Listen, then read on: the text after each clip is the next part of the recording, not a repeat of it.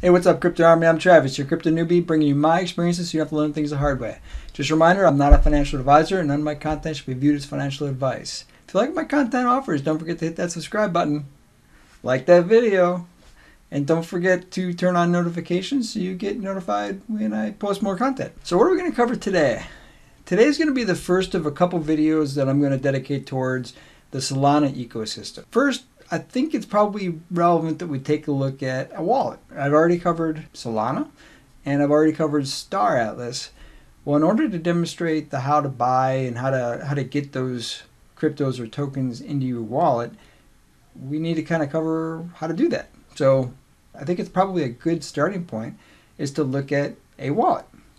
And one of the two wallets I like best are Phantom Wallet and Math Wallet. So we're going to do Phantom Wallet, and then if you want, I can cover Math Wallet in a future video. Just let me know in the comments. But I like Phantom Wallet because it integrates from the web browser for most things. And on the Solana ecosystem, with the price for sending stuff between wallets is pretty negligible. So it's not a real big issue to have to send things, unlike on any Ethereum-based network. So today we're going to take a look at how do you set up your Phantom Wallet and we're going to go through the entire process. All right, let's go ahead and get started. So the first thing we have to do is go to the website to set up our account. So we go to phantom.app, and I'll put this in the description. Now, if you don't want to do it this way, just Google Phantom Wallet, and the first link that pops up is going to be for the Phantom Wallet. So it's very easy to do, but I will put all the links that I reference in this video in the description. Now, what do we need to do? I'm in a Firefox browser, so all I need to do is hit Add Firefox and it's going to take you to the add-ons for Firefox. And you click Add to Firefox, access your data for all websites, hit Add. Now you can manage your add-ons and themes through the application menu, and you can also allow this in private browsers if you use private browsers.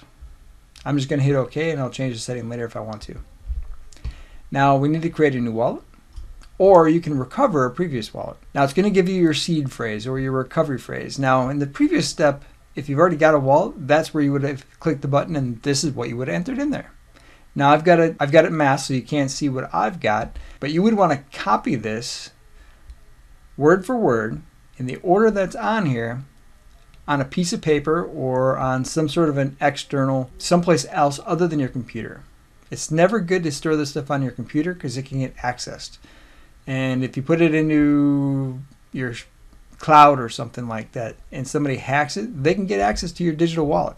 So it's not always the best thing to click this copy button, and I just clicked it to just to demonstrate. It's not always the best thing to do that. The best possible option you have is to write it down and put it into a safe, a fireproof safe, or you can also use one of these.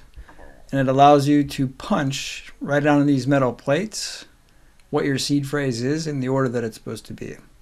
These are a great option because they're generally fireproof or they're definitely a lot more resistant to fire than a piece of paper is. And you can order more of these metal plates for more wallets you have because in reality you can't just have one wallet and do everything. Not with cryptocurrency. So you're going to have multiple wallets and multiple seed phrases. So these are a great option. I'm going to put the link for this in the description. I do get a small commission if you use this one. This is the one I have, and it's great. Now, it's a little pricey. Uh, the reason why it's pricey is because you get that punch set with it. And the plates are titanium, so they're even more durable than most of them out there. So these are a great option. If you don't already have one of these, I highly recommend getting one of these.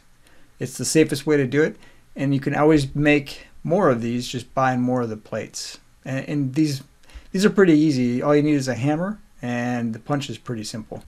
Now I'm going to go ahead and hit OK. I saved it somewhere. Now I have to create my password. And now that I got my password, I just have to hit the save button. Now it's going to tell you how you can quickly access the Phantom wallet at any time, hitting Alt Shift P. If that's something you want to be able to do, then I highly recommend you write that down with your seed phrase. That way it's conveniently stored in the same place or next to your keyboard wherever is easiest for you to remember. So from here, we'll just hit continue and we're all done.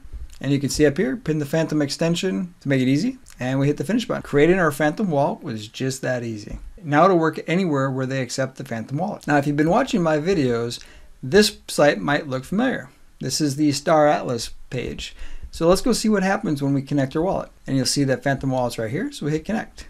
It'll pop up here. Do I want to connect? And yes, I do. And now I am connected. And it's that easy. And it says right here, wallet connected.